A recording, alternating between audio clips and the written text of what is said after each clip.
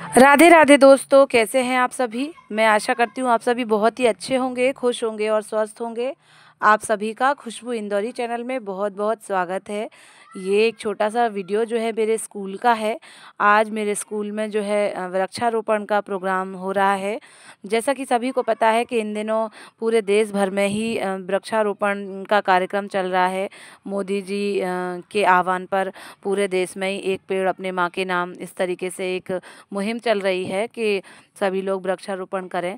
तो उसी में ये सब तैयारी चल रही है। नाश्ते की भी व्यवस्था की गई है। मेहमान जो आएँगे उनके लिए। तो मेरे विद्यालय के जो बच्चे हैं, बढ़ चढ़ कर हिस्सा ले रहे हैं प्रोग्राम में, कार्य कर रहे हैं और साथ ही साथ हम लोग भी लगे हुए हैं। हालाँकि ये प्रोग्राम एकदम अटेंडम में ही बना। मैं स्कूल पहुँची और जो है मुझे पता चला कि ऐसा प्रोग्राम है तो फिर सारी तैयारी चल रही है।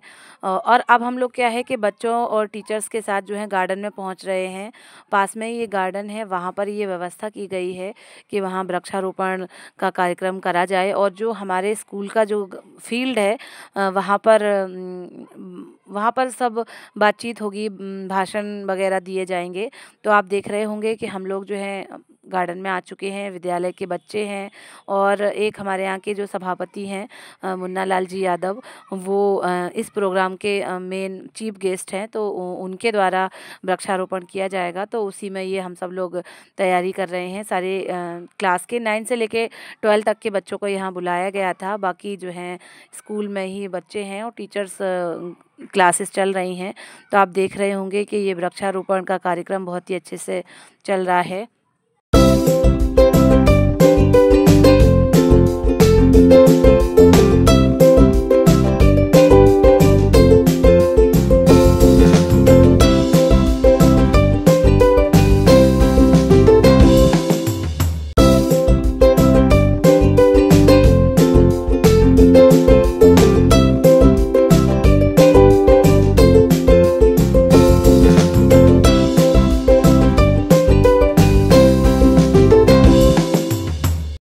साथियों, पौधारोपण तो हो चुका है। अब आयोजन के जो अतिथि लोग आए हुए हैं, उनका सम्मान हो रहा है। पुष्प माला उनको पहनाकर और बुके वगैरह देकर उनका ऐसा सम्मान किया जा रहा है। और दो शब्दों से हमारा मार्गदर्शन किया जाएगा और मुझे मंच संभालने की ज़िम्मेदारी सौंपी गई है। आप सभी देख भी रहे होंगे। मेरे स्कूल की जो एलेवेंथ क्लास की गर्ल्स हैं, उनके द्वारा जो हमारे यहाँ के मुख्य अतिथि हैं, उनका हल्दी कंकु लगाकर स्वागत किया जा रहा है, आरती पूजा की जा रही है।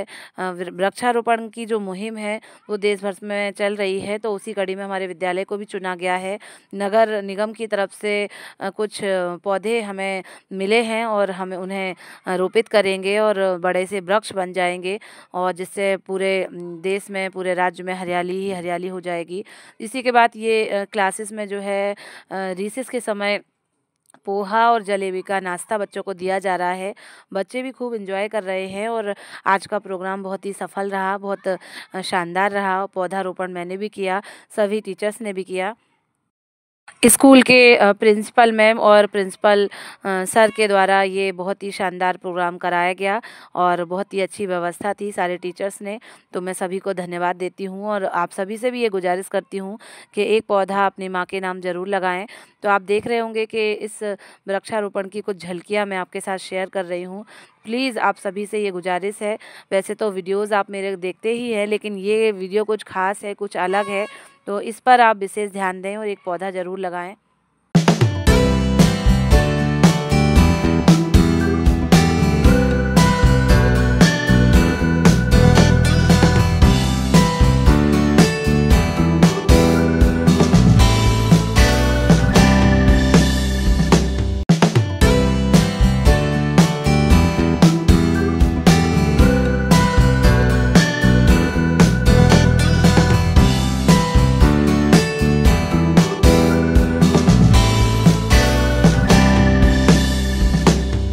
साथियों, ये हमारी नून शिफ्ट की टीचर्स हैं, जो सभी पौधारोपण के बाद चित्र खिंचवाते हुए और इसके बाद जो दोस्तों स्कूल के साथ एक घर की भी ज़िम्मेदारी है, मैं एक टीचर के साथ एक गृहिणी भी हूँ तो वही खाना पीना सब तैयारी की जा रही है। तो आज खाना कुछ अलग सा है, मैंने चने की दाल सुबह ही भिगो दी थी तो उसको अच्छे से पीस लिया है, उसमें अदरक और मिर्ची भी पीस ली है, और धनिया, मिर्चा और हींग, नमक, मिर्चा डाल के उसकी अच्छी सी पिट्ठी बना ली है, हरी चटनी बना ली है, आटा अच्छा सा मार के, ये मैं पूड़ियाँ बना रही हूँ और उसी पूड़ी में जो मैंने फिलिंग बनाई है चने की दाल की, वो इसमें मैं भरूँगी और उसके बाद इसकी एक गुजिया टाइप की बनाऊँगी। ये आप देख रहे होंगे कि मैंने फिलिंग भर ली है, इतने टेस्टी लगते हैं। हमारे यहाँ इन्हें जो है फरे बोले जाते हैं लखनऊ में चने की दाल के, और जालौन में इन्हें भकोसा बोलते हैं। मैं अभी रिसेंट में मम्मी के हाथ से खा के आई थी, इतने टेस्टी बने थे दोस्तों कि मेरा मन कर रहा था कि मैं कब जाऊँ और मैं कब मेरे हाथ के बना के मेरे हस्बैंड को खिलाऊँ। वो बहुत तारीफ़ करेंगे, मेरे हस्बैंड को बहुत चाव है इन सारी चीज़ों को खाने का टेस्ट करने का, और वो बहुत तारीफ़ भी करते हैं। बहुत से लोग ऐसे भी होते हैं कि कुछ भी दे दो, पेट भरना चाहिए, लेकिन मेरे हस्बैंड थोड़ा खाने पीने के मामले में अच्छे हैं और सभी चीज़ें खा लेते हैं और तारीफ़ भी करते हैं, ये भी अच्छी बात है। तो वही मैं बना रही हूँ चने की दाल के फरे समझ लो या फिर भकोसा, जो कि मेरी मम्मी बोलती हैं। तो मैं अपनी ज़िम्मेदारी निभा रही हूँ, आज का खाना ये भकोसा का रहेगा। तो मैं सबसे पहले पानी जो चढ़ा दिया उसमें ऐसे फरे डालती जाऊँगी और उन्हें जो है वो ऊपर तक आ जाते हैं और उन्हें पलटा जाता है, तभी माना जाता है कि वो सीख गए हैं। क्योंकि मैं फ़र्स्ट टाइम ही बना रही हूँ। एक बार कभी लखनऊ में बने होंगे, मुझे तो याद नहीं है और कभी इतना मुझे याद नहीं है कितने कितने साल पुरानी बात है। लेकिन हाँ जालौन में मैं रिसेंट में खा के आई हूँ तो मुझे पता है, याद भी है। तो मैं वही बना रही हूँ और मेरे हस्बैंड आज लेट आएँगे।